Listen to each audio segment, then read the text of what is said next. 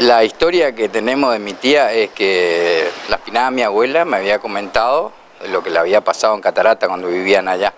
Ella era sana, estudiaba, tiene su estudio, pero en un llegado momento ella salía de una casa a la otra con una vela prendida y le saltó un perro, supuestamente lo que dijo mi abuela era un luisón, la historia de ellos de antes.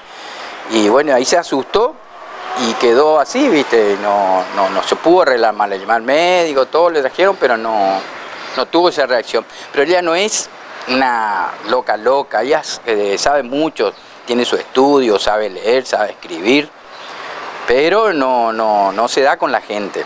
Eh, ahora como vive acá conmigo ya no sale más, antes vivía por la plaza, todo el mundo le conocía como María Catarata que se vestía todo de blanco, siempre se vistió así, pero gracias a Dios hoy en día yo lo tengo acá en mi casa y vive bien, gracias a Dios. Y es una leyenda viviente, vamos. La verdad, una leyenda viviente de Catarata que vino a Iguazú, ¿viste? Y Iguazú, bueno, estaba acá todavía presente y está viva, gracias a Dios, viva. Desde los inicios de Catarata. Nueve años más o menos tiene ya, ¿viste? Claro, desde las primeras esas poblaciones que estaban ubicadas. Vivían en Catarata todavía, es la época de Catarata, cuando era el pueblo en Catarata. Después, o sea, había también un pueblito acá, pero después ya se sacó todo lo de Catarata y se trajo a Iguazú.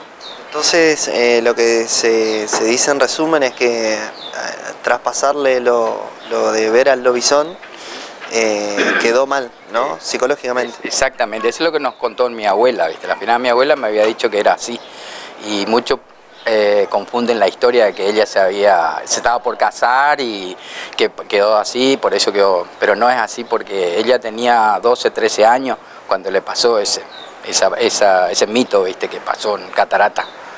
Y vamos a dejarle a la gente que crea o que no crea, pero se la dejamos al público. Sí, la verdad, eso es lo que es la historia de ella, así que...